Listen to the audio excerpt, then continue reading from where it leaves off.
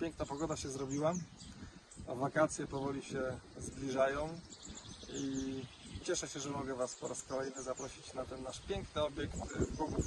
Korzystajcie przez całe wakacje, ile tylko będziecie mogli, a zobaczcie sami jak już jest pięknie. Do zobaczenia.